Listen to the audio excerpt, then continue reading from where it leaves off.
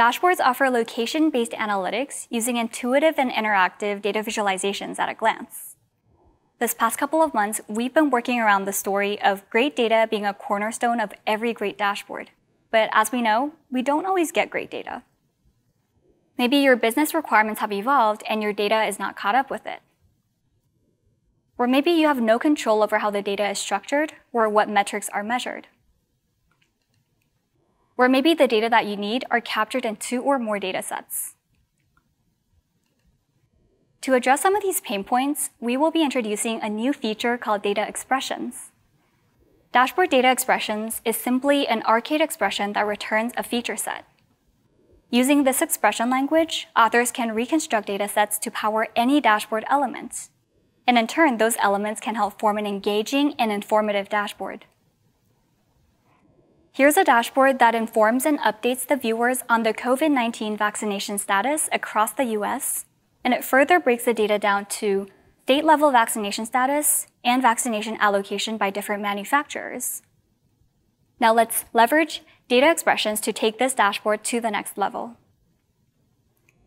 At the bottom, we have three serial charts using three different data layers. It is showing how many vaccines were allocated each week by each manufacturer. While you can roughly see the temporal trends through these charts, it's kind of hard to summarize this data at a glance. Using data expressions, we can actually pull data insights from multiple data sources to power a single element, effectively combining these three charts into one powerful visualization. With the latest release, we will introduce the option for users to switch out the data layer for a data expression.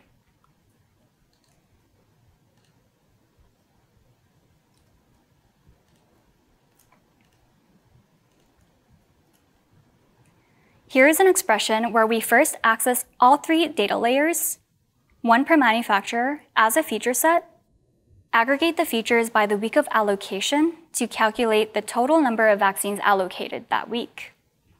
Once we do this for all three data layers, we can loop through the feature set and store the feature attributes in an empty dictionary and return that dictionary cast as a feature set to power the element.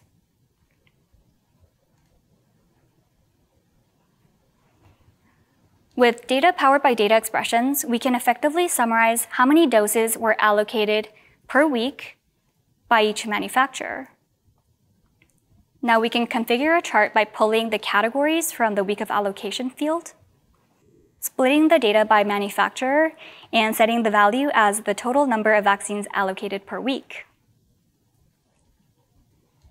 And this time, instead of showing this information in three separate serial charts, we can stack the series as such to show both the cumulative count of vaccines allocated per week and how many vaccines were allocated by each manufacturer.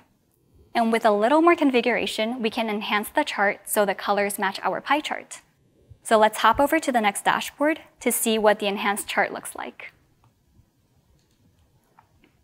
Using data expressions, we were able to save precious dashboard real estate and combine multiple elements using multiple data sources into a single visualization.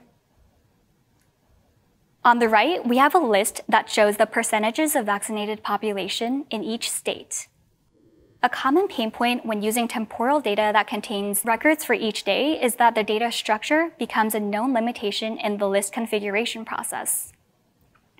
For instance, to prevent repeating features in the list, we have to use a date filter to filter for the latest records. When you're using data that is updating on a daily basis, it can be a hassle to have to reconfigure your list every single day. So how convenient would it be if we could simply automate this updating process? And that's where data expressions come in.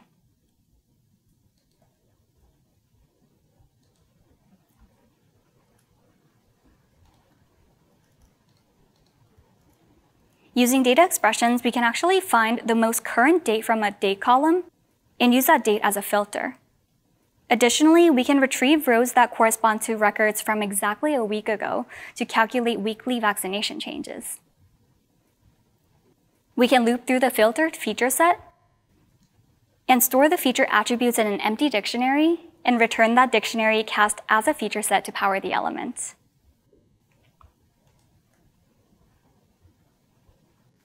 Now let's configure our list, and this time we're going to use Arcade for advanced formatting to enhance our list layout.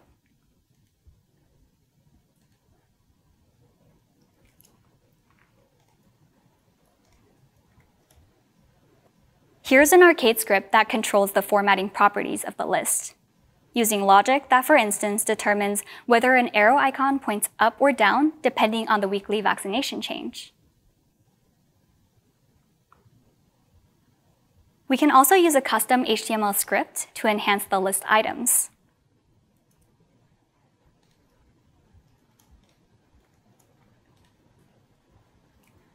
Using advanced formatting, we're able to provide visual indicators such as progress bars and arrows, and classifiers using different colors to communicate how each state is doing with regards to vaccination.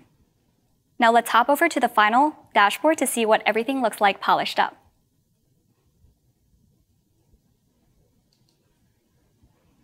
Using data expressions, we were able to automate the data updating process and uncover hidden information in our data. We were able to transform a dashboard that felt somewhat crowded and not so intuitive into one that is easy to comprehend and informative. Data expressions effectively give us more control over how to transform data to enhance data visualization, and it is a key tool for driving a more compelling narrative through dashboards.